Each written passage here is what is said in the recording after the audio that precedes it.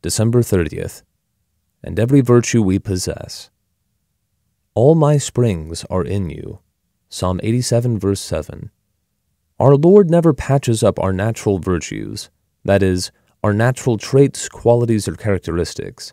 He completely remakes a person on the inside. Put on the new man. Ephesians 4, verse 24. In other words, see that your natural human life is putting on all that is in keeping with the new life.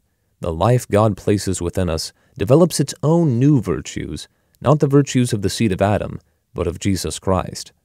Once God has begun the process of sanctification in your life, watch and see how God causes your confidence in your own natural virtues and power to wither away. He will continue until you learn to draw your life from the reservoir of the resurrection life of Jesus. Thank God if you are going through this drying up experience. The sign that God is at work in us is that He is destroying our confidence in the natural virtues, because they are not promises of what we are going to be, but only a wasted reminder of what God created man to be. We want to cling to our natural virtues, while all the time God is trying to get us in the contact and life of Jesus Christ, a life that can never be described in terms of natural virtues. It is the saddest thing to see people who are trying to serve God depending on that which the grace of God never gave them.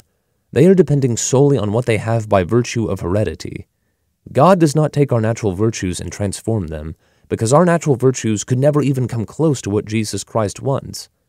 No natural love, no natural patience, no natural purity can ever come up to his demands.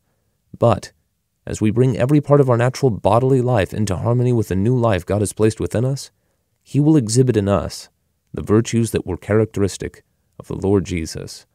And every virtue we possess is his alone.